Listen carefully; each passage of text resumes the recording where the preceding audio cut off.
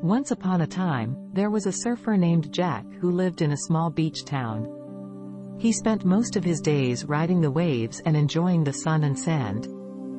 Jack was content with his simple life, but he often wondered what it would be like to have someone to share it with.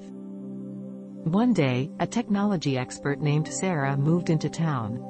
She was there to work on a project for her company, but she quickly fell in love with the laid-back beach lifestyle.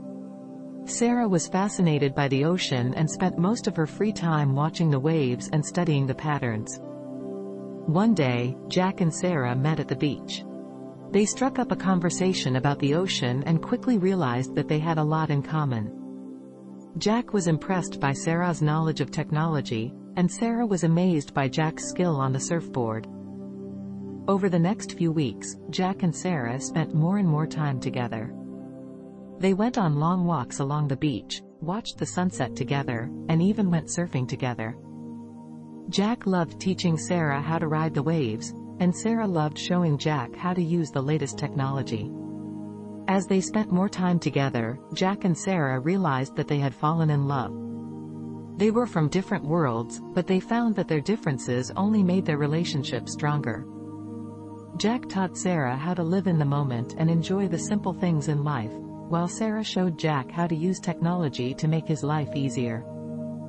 Eventually, Sarah's project came to an end, and she had to return to her job in the city.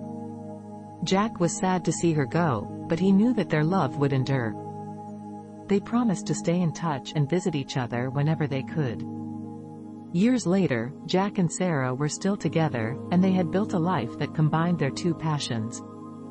They had a home near the beach, where Jack could surf every day, and Sarah had a home office where she could work on her technology projects.